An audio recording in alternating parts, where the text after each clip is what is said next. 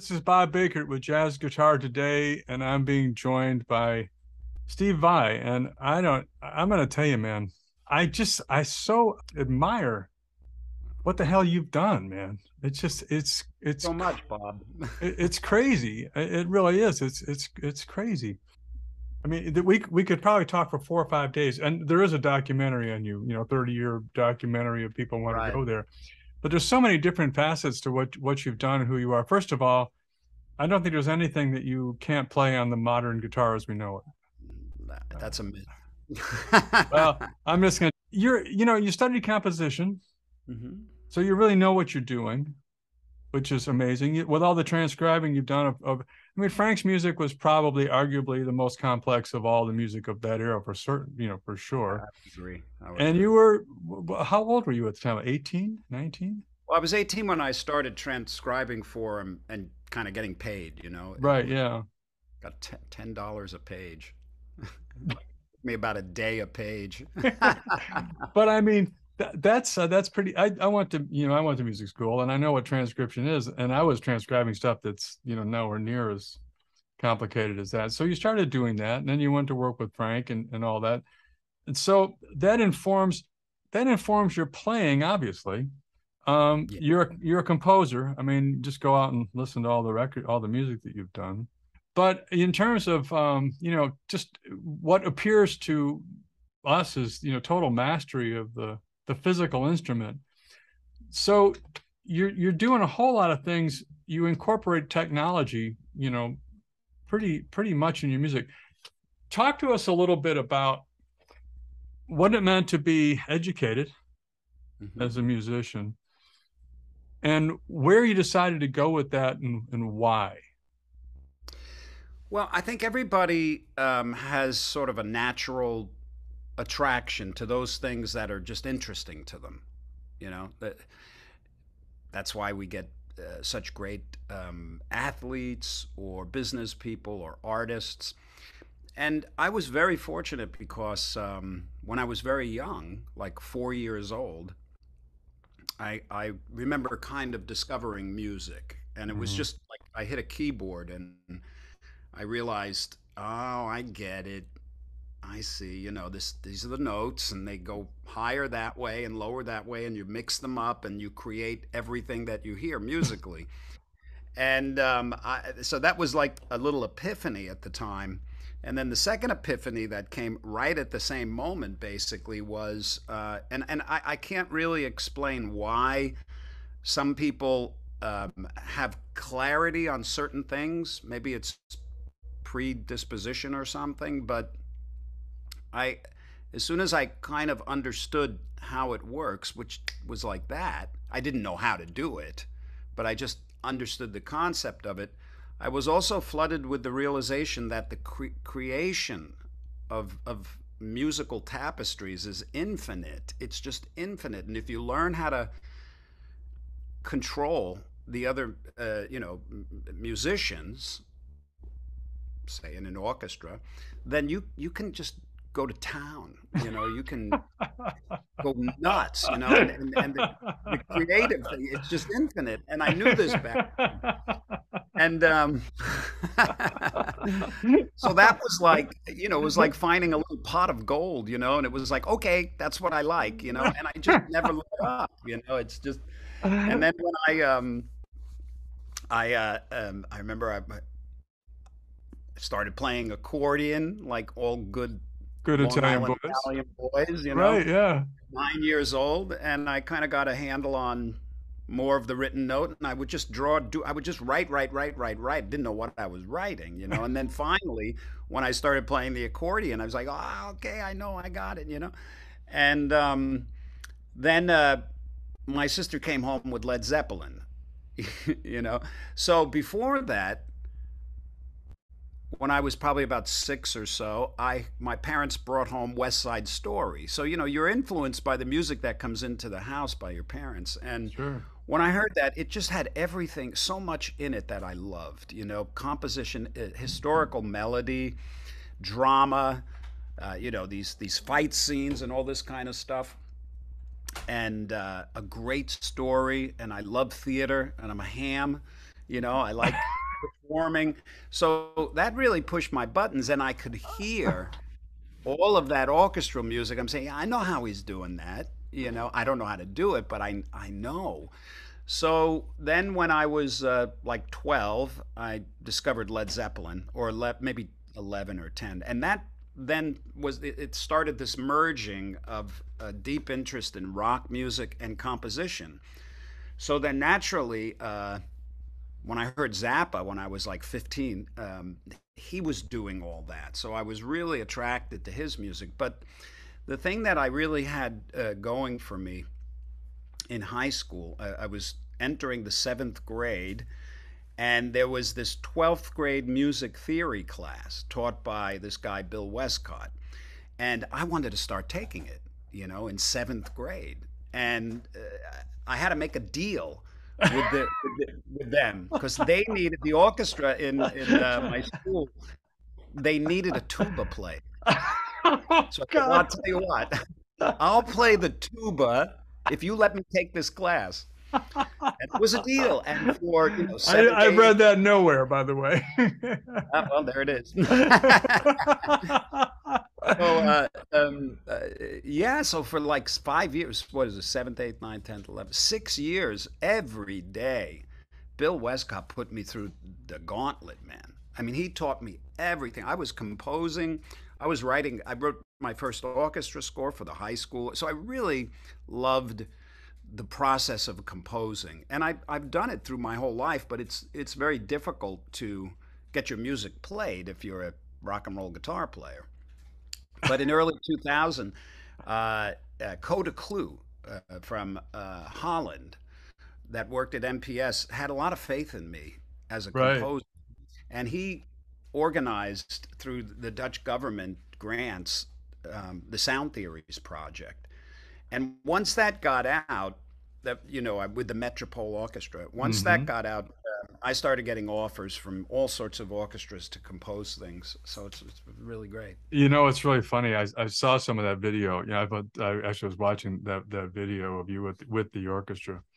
And one of the questions I ask people usually at the end of the uh, of the interview is, if you had you know all the money in the world you know you, you, you had to spend it on a music project you know you, you you couldn't take it home and buy another ferrari or whatever it is that you, you do. But you had all the money in the world you could have access to any musicians whatever you you know whatever you want what would be your dream project? And i and i'm sitting there and, and everybody says different things but i'm sitting there thinking and i'm watching you with that orchestra doing your thing you know and beautifully by the way and oh by the way you know counting time with your with your, your, your with your finger you know as you're you're going you're mm. kind of mini, mini conducting the whole thing.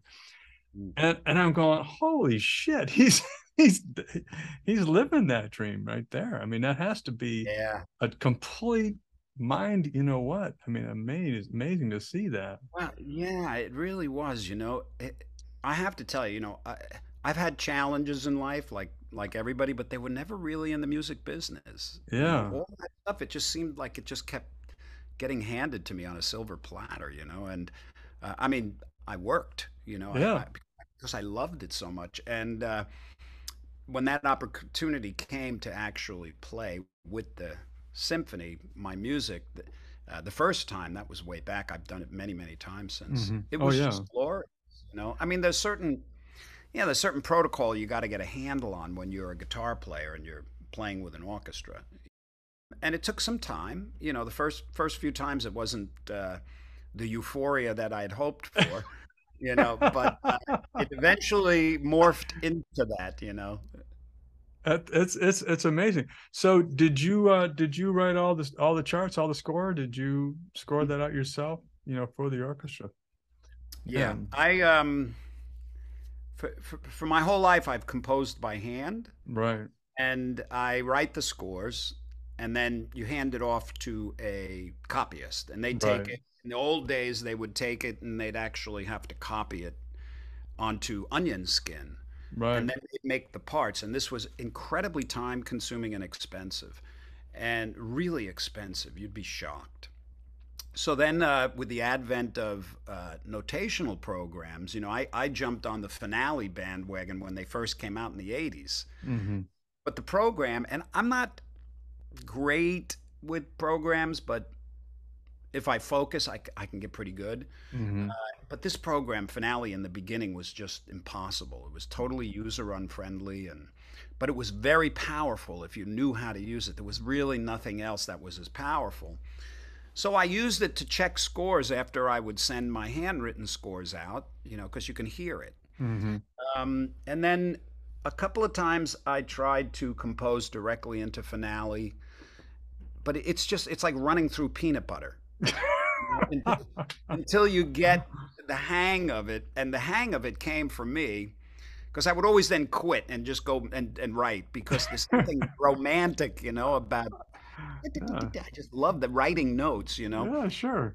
But i- i- inevitably, it, it I'd have to give it off to a you know a copyist, and I'd find tons and tons of mistakes, and then they would have to do the parts, and then the parts would come out, and I'd find mistakes, and then you're in rehearsals with an orchestra, and uh, you know you're wasting time on mistakes. So, from the last score that I did was a piece called "The Still Small Voice." Interesting piece because I hold one note through the whole piece with a sustainer. And for that one, I decided to. Uh, it was about 20 minutes. I decided to. I decided to become a finale expert. Oh, all right.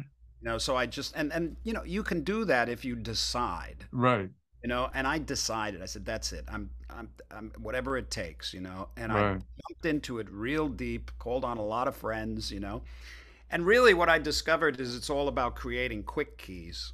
And then after I was doing it for a while, I saw the great advantage in it because with the computer, first of all, you can hear what you're composing, and you can also do incredible things that would take you forever. You know, you could take a melody line and hit one button and it'll canonize, or it'll do um, harmonizations, it'll do um, retrograde and invert. You could all sorts of things, and you could take big swaths of things and just transpose them and move them, copy and paste. So and then I actually generated the parts too. It's not as fun in a sense because it, for me, uh, there's something nice about just writing music. Kind of like di- digital, you know, the advantages are just too great to bypass. So Right, right. do everything directly. let- Let's talk th- that blow. Well, something just just to put some uh, emphasis on it. You know, you just got to you got to dig in and work hard. You know, I mean, Well, you have to you have to be you have to be interested. yeah. If you you're find interested, something you want to do, you can't you can't. Yeah, you you, you gotta if you're interested, it's not work. You know, right. it's, it's kind of like time evaporates. Well, let's let's talk about the the guitar and the way that you. Um, I mean, you have so much facility. You know, you can you know play. Yet your melody is your melodies that you write, that you compose, and that you play even are very accessible. You know, I mean, they're they're melodic. Let's call it that. You know, they're they're, they're melodic. They're not. You know, it's not it's not a lot of. I mean, when it's time to blow, I mean, when it's time to to play, you know, the the explosions, if you will. You know, obviously they're there, but man, you you play so melodically and so beautifully that you know. Um, i- is that something when you play melody? Is that something you're doing like consciously? Are you are you thinking, I think this sounds pretty, therefore I'm going to play it, or do you think? Um, what is your process there? Well, there's there's various ways that I reach for melody, and I think people reach for melody. If you're actually sitting and writing a song, Yeah.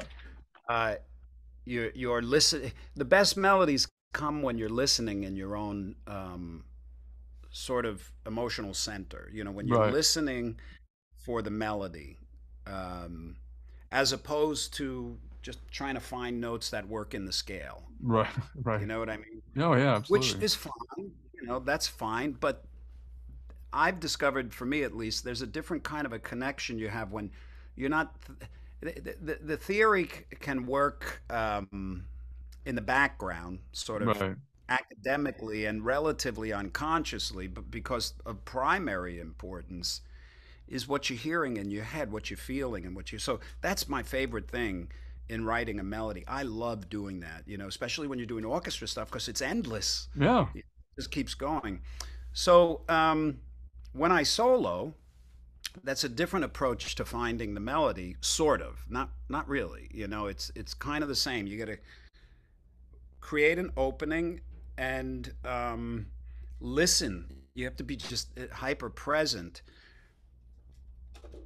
And it's kind of an interesting space. I'm, I'm sure that any accomplished musician that you talk to does this. You know, when you're in that um, state of uh, presence when you're playing, and if you're a jazz player or whatever, maybe the theory is working in the background, but at the forefront is is your inner ear leading your fingers. Mm-hmm. So, um, uh, and then for someone like myself, I'm also fascinated at times with you know just fast, shreddy kind of playing. You know, yeah. So I'll, I'll throw some of that in, and may, maybe some of it's not so melodic. It's more like finger memory, but it's fun. but they, it always has to it always has to resolve to uh, something that makes sense. Right. So I'm always listening for melody, and what I do a lot also is I create sentences, lyrical sentences in my head, mm-hmm. and I play them on the guitar during a solo. Right. And this is magnificent for finding melodies. Motifs. I hear motifs. You know, when you're, when you're well, you know, it's it's it's it's pretty spectacular actually, and you do a lot of things. You do a lot of things that are interesting. You you incorporate. Uh, let me. Hopefully, I'm going to say this, right, but you incorporate technology into your music in a way that is uh, I think is very very tasteful. I mean, you you have you have created an instrument that's controlled by the electric guitar, but it's it but it's informed by so many other things. You know, it's you use. I, I mean, I see you you know playing with feedback on the stage, moving from one position physically on the stage to the other position because obviously the, the, the resonant frequency is going to change as you move and yeah. messing with that and having fun with that but um, you know, your your you know your use of electronics. I, I was watching one of your rig rundowns, and you know what the latest thing. Your use of electronics, it's still it's it's it's a musical instrument. It's not a musical instrument with effects all over it. I hear a cohesive instrument, even though there are a lot of things going on there. But there's an instrument. There's a voice that's been created. Technology um, can be, you know, it can be very colorful and helpful. Uh, I know for me, my basic guitar tone is a relatively simple rock and roll kind of a high gain delay stereo delay i, I like that you know yeah. um, very legato kind of a player but um, many times I've I've written pieces of music based on the sound that's coming out of the effect because if you have um, all sorts of harmonization, delayed mm-hmm. harmonies and stuff like that, uh, you you can create um,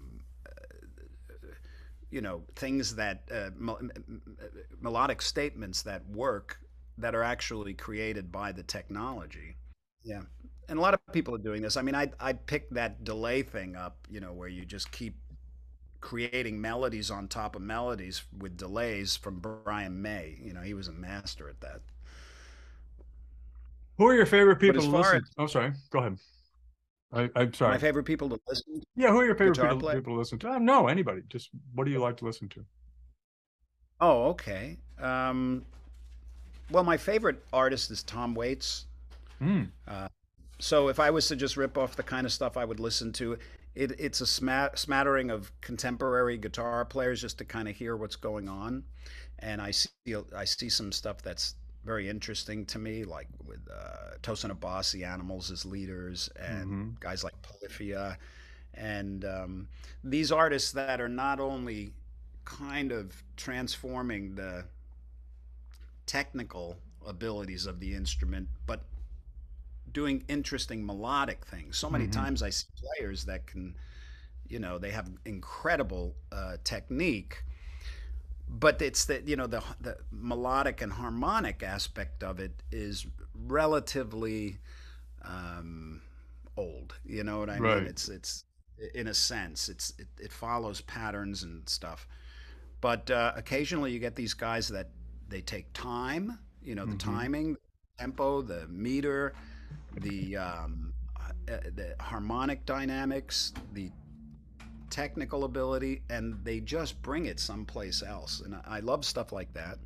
But then there's classical music. Uh, I don't really listen to much classical, old classical. I like contemporary. So guys like um, Ligeti and Stravinsky and uh, Berio, um, Carter. Uh, there's so many, you know, that that I'll go to listen to for that kind of stimulation. So I'll I'll listen to different genres uh, if I find something inspiring. But usually I don't go any place without my entire Allan Holdsworth catalog. Tom Waits, Frank Zappa, Led Zeppelin, and Stravinsky. I mean, that's really.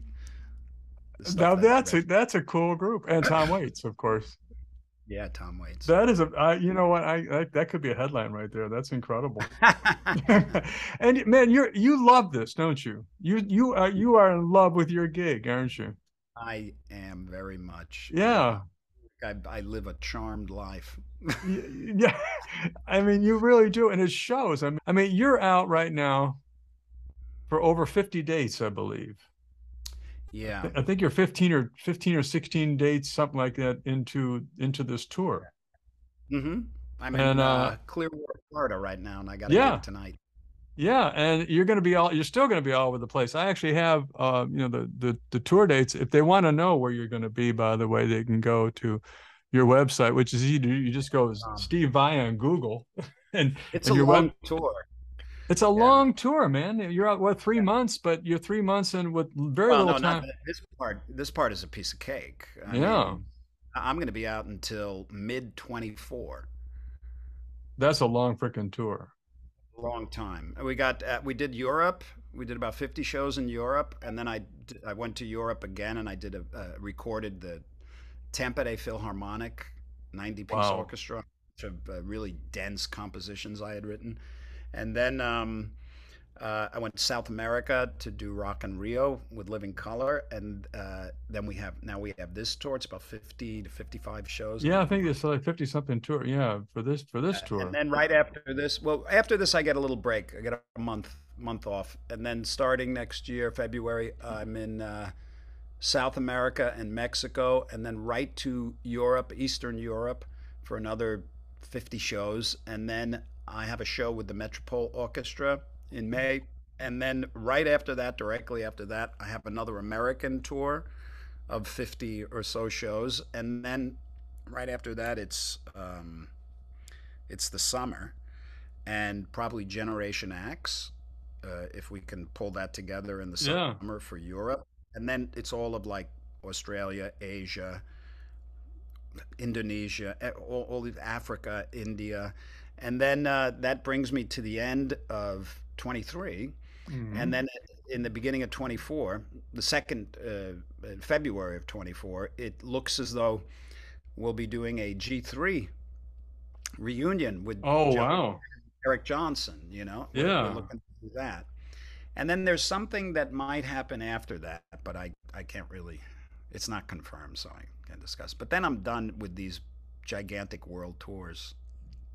I I'm like blown away, man. That that's uh God, man, more power to you. That's incredible. That, that really that, that really is incredible. I mean, uh, you know, I, I, don't even know where to go with that, to be honest with you, because I, I was sitting there impressed with, you know, 50, a 50, uh, 50 show tour, and, and that's just the beginning, man. So, and you run a record label. Well, the record label is kind of in the back seat in a sense. Mm-hmm. I ran it for many years, like yeah.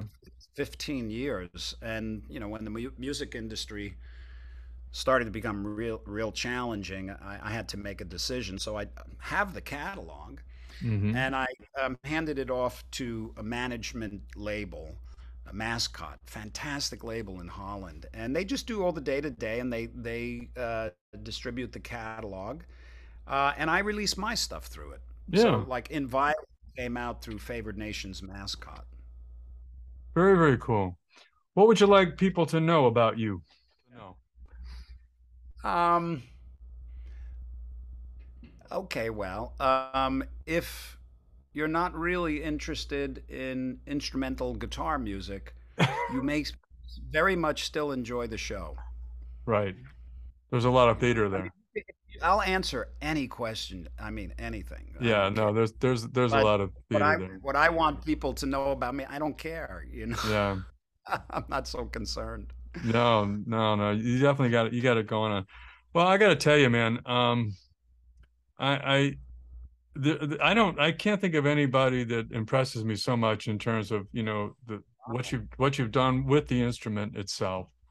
You know, the fact that you study the transcription, the composition, the the the inquisitiveness and the creativity combined to do the things that you've done with the music the things that you've done with the technology, how you incorporate that, and then how you present your music. You know, you've got a theatrical approach to your, you know, to your presentation, if you will, live. Um, and the music, you know, the music stands up recorded. I mean, you know, there's a lot of shows that look great and they're very exciting and all that, but you go by the record and you go, oh, it wasn't so much. And of course, we, we we know people that that make great music but the live show was a little bit slow you know? I mean allan is a good example of that. You know you have to be allan holdsworth you know allan was allan was allan i mean it was it was amazing i mean just truly amazing i got a great picture of me and him holding a guinness together by the way at the hilton bar you know ah, from, the, yeah, from, the, yeah. from the NAMM show yeah he loved that oh man yeah but um but he he was not i mean the the show was i mean he wasn't a, a he wasn't concerned about the theater, you know, the show of it. He just no, not at all. When you go to an Allan Holdsworth concert, you yeah. are it's like a meditation on his melodic ideas, right? Breathtaking ability to execute them. Uh, un, un, unbelievable. I mean, I, I, still can't figure out how he did have that stuff. But um, but but you've got the whole you got the presentation thing together. You incorporate technology beautifully. It's, it's seamless as far as I'm concerned. You you do all kinds of creative things with the instrument. You you're completely wide open. I think you try anything, and you seem to pull it off. Well, you know? I can only I can only do things that um, I can see myself doing. Right. You know, like I said, there's this myth that I can play anything. That's just so untrue, man. You know, well, I mean, that's because uh, you're you and you know what you know. But well, I I know like um, something like uh, on the new record, there's a, a song called Candle Power. Mm-hmm. So I had to, it, it, was very outside of my comfort zone, but I, I wanted to do, I saw it, and it involved things that for many people are very easy, like using their fingers. I never right. really, you know, very clean tone, stratty, and it had these techniques in it for uh, no whammy bar, no delay, nothing, you know and I had this idea for these this technique of bending notes in different directions, and you know, and I call it joint shifting. Yeah. So I, I, was able to do that because I saw it in my mind, you know, um, and something like Teeth of the Hydra on the new record Inviolate. Um, have you seen that? I, I have not. I'm sorry. Well, you'll have to see the video for it because I'm playing this three neck. Oh no no no oh no no that video. I'm sorry. No, no yes, I have seen that video. Yes, I absolutely yeah, well, positive because you got the bass. You're hitting the bass note. You know, you're doing yeah. things with the bass note, and then you got a you got a guitar that's fretted halfway up, and the bass. You know, I mean, yeah. and, and then you go, yeah, yeah no, it's, it's, kind of a nice song, you know, and it's a uh, it's a great piece of music. Thank you. And and the thing is, um, if if a person looks at that, if a guitar player looks at that, uh, it just looks so impossible. You know, it's like what what are you what is he do? What are you doing? How can you do that? But really, it, it it's not because um, it, it, the things that seem impossible don't seem so impossible once you start doing them. Right. And I, I had a vision for it. So anybody that can play most most relatively accomplished guitar players that I know could play that piece. Mm-hmm. You know, because um, it's not different. The thing that's difficult is the um, independence. right. Know? And that just takes work. It just takes time. Well, conceiving so of it. something like that. Well, that's that's the uh, the compositional element. That the, that piece of music, it's composition. Right. Yeah. That's yeah. the well. That's the art. The the art at that point is you can you you conceived of that piece of music, which is you it's all you. I mean, everybody's got a blank blank canvas. Some people are better with what they do with the blank canvas, but if you can't conceive of the Mona Lisa, you're not going to paint it. So I mean, you Exactly. you know, so you you conceived of this piece, and that that's that's what makes it totally uniquely you. Now, can you bring it to life? You know, that's the second part of it, which is you know, can I technically do this thing that I con- have conceived of? And so Exactly. and so you because you're physically not constrained i mean you know i, I am gonna say this in, in, a, in, a, in a way i mean i know you're you're thinking about shit you can't do but you know you're you're to to most people you're physically not constrained at all so it's it's sort of like whatever you can think you can play or you can work towards playing it and and that's that's how it comes across so the I'm art well, smoke. Well, I, I would like to say smoke and mirrors, but you know, it's not smoke and mirrors because you do pull off a lot of stuff. I mean, but the thing There's is, if, if if if you didn't see your own your own boundaries that you need to smash through, then you'd be done, and that wouldn't be fun for you. You know, you'd be uh, you know you'd be playing the same old shit over and over. You know, like a lot of people do, unfortunately. But I mean, you know, you know where your challenges are and what you have to do to break through those challenges. But the fact that you have broken through challenges year after year after year after year after year, and you've brought those challenges to a very, very, from a human point of view, what can a human being do? Because you don't have six arms. You know, from a from a human being point of view, you've brought it to a pretty freaking high place. Come on, man. I mean, you are, you know, you are who you are. And um that's that's pretty phenomenal.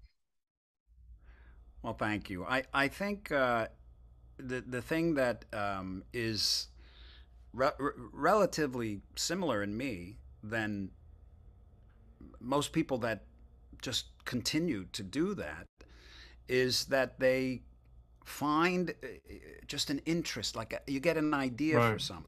It's just like I don't know where it you know it comes from the vast pool of uh, you know creativity that exists in all of us and uh, for me, I might make plans. I might say I'm gonna, I want to do this, or I'd, I'd like to try this. whatever. But then when something arises that uh, is really compelling, you, you it becomes the boss, you know, Right. and you almost you almost become like catatonic with must do now, you know, must Right. do, and then um, and a lot of times it involves something that's just a little outside of your ability, you know. And Right. and if you project, if you can create an, a visual of yourself doing something that's just a little bit outside of your ability, Right. then then there's a, an excitement, an enthusiasm with the path to get there, you know. Right. And and and I have to tell you, Bob. Um, for me, uh, it, it it was always kind of about that, you know. From the very beginning, it was chasing fun, interesting, enthusiastic ideas. And through the years, there was, a, you know, I, I took different turns. I was, I, I, I was bamboozled by money at times Mm. and fame or things like that, you know, or big gigs or stuff like that. But still, um, the the things that were most rewarding were those ideas that co- they come to you and they they're, they're equipped with an aha moment and enthusiasm and you know what i mean you Oh, yeah, absolutely. you, you get a whole a whole download for something and you go oh. I I gotta write that That- down. I, yeah I gotta write that just down. becomes the boss right I- You- I gotta get it done. slave to it yeah I I I I understand. I believe me. I do understand it.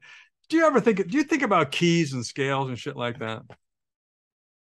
it's based on what I'm doing and what's what is going on around me. Mhm. Um, I, it it works in the background. Mm-hmm. Like if I hear an A minor chord, I, I just you know I, I know where it is, you know. Right. But if, if there's changes and I'm I only have my ear, then you have to switch gears and and and you know switch to your ears. But Right. even when you're uh, even when you're navigating in one key or one Right. scale, um, you know, there's certain times in my past and even now where I'll use, you know, kind of like scales uh, as they are, you know, kind Right. of fast things like that. But really, for me, a scale is a it's a flavor. You know, they, every scale has a personality to it, hmm and it's chords that it belongs to. You know, so um, based on the situation, okay. So on the new record, there's a song called "Little Pretty," hmm and this song is a beast because the chords are, are, are pretty adult chords, you know. And the solo, uh, I decided. So this was where you asked me if I think scales or whatever. Yeah. Um, I I decided I wanted to create a solo section that had this repetitive chord pattern, where every every chord when it changes is completely different, alien to the previous chord Right. but somehow it works, you know. Um, so and they go by pretty quick. It's kind of like jazz, you know. hmm So when when if I hand these chords off to a jazz player, they'll um, when- I mean to a particular type of Right. jazz, I, I understand. and they look look at the chords and go, okay, the, the, like this scale works there and that scale works because you have to because they're all hybrid uh, uh, synthetic scales. Right. Nothing really works normally, you know. Right. And um, so you learn the scale, and then when the chord comes by, you know, the, the, the knee jerk reaction is to play the notes in the scale that work, you know, up and down the scale, or, you know. So that's what I really try to avoid. And if you listen to the solo in Little Pretty, it's it's a composition, you know, because first of all, I can't improvise over those chords in real time. I don't know many who can, but um, You're so I, admitting I, it. oh yeah, no, they're big boy yeah. chords, you know, and, Yeah. and um, I'm sure there's great, you know, players that just can hear, you know, and do it. But um, you know, so I constructed a solo uh, that's just like a melody through the whole thing. So that was a, a an instance where the theory and the scales and things like that played a big part, but ultimately it can't sound that way. Right. Right. For No, me, I, I, yeah, I get, no, no, I, I, I'm t- I totally agree. Yeah.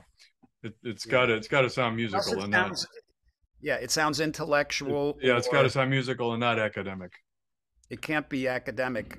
Uh, I think that writing academically or conceptually, uh, i i- there's a period of time when that's very helpful because you're learning and stuff. And there's aspects of that that can work in the background. But ultimately, if you want to know who you are Right. musically, you you have to create a space for that. And it has it, it's in there. It is there but it's actually a, a shift in focus Right.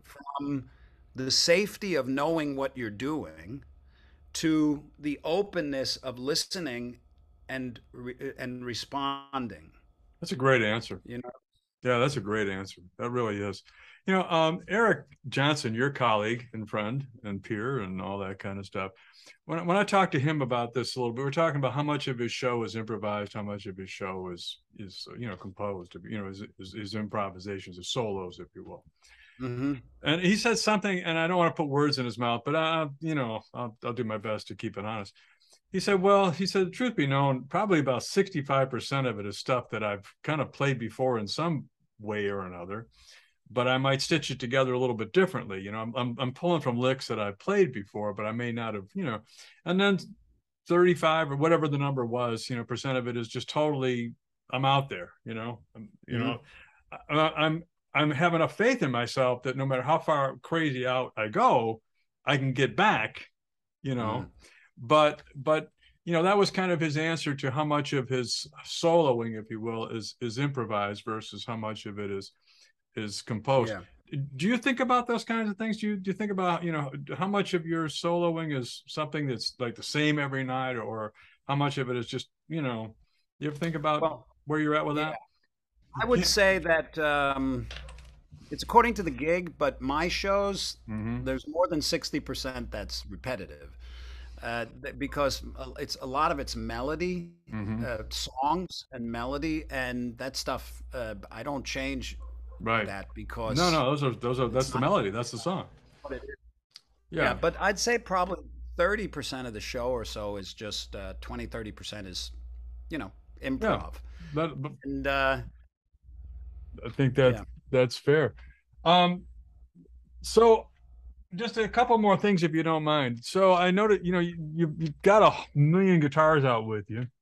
You know, you've got your signature instrument that you've been playing for a long, long time. And but I'm seeing you, you know you're you've got some semi-hollow guitars, and then you got a video at home where you're playing a big I- Ibanez uh, uh, fat body yeah. guitar, and that's a you know, yeah, that's um, a little pretty. I um, I recorded that one with. Uh, um, well, I have a, a John Scofield with me. Yeah, no, I saw that.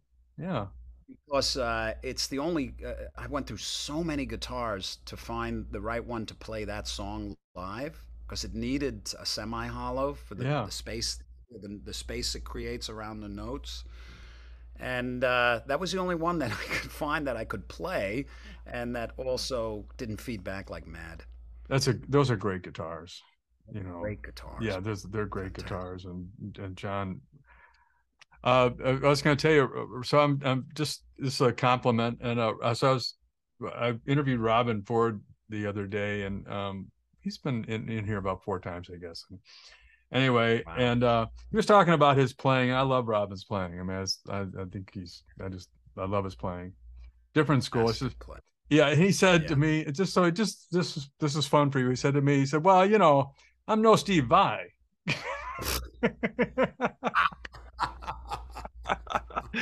I, that, no that is, that is a quote. You can go on, go to jazzguitartoday.com and like I'm embarrassed and see and see Robben's Robben's interview. And uh it's it was we just put it out like last week. He said he said, you know, I'm no Steve Vai you know i got my thing you know but i'm no steve vai and i i, I cracked up. I he can well, blues me under the table. Man he's he's he's got that down man. He's, yeah, he's boy man his tone his oh, phrasing. oh, yeah i love robben. Nation. Oh god. Yeah I, I love i love robben. I think he's uh i think he's and he's i was telling him the other he's he's happy he oh, moved oh, to Paris. He's in he's in he moved from from Ohio to Nashville to Paris, and he's he's loving being there, and he's having a great time. Anyway, oh, well, listen, man, you've been so generous and so kind to come on. Um, right, this thank is, you, know, so Bob, much, Bob. You're welcome. The Bob Bakert with Steve Vai for Jazz Guitar today. Thanks a lot, Steve. I really appreciate it, man. God bless you, brother. Thank you. You too, brother, man. Bye bye.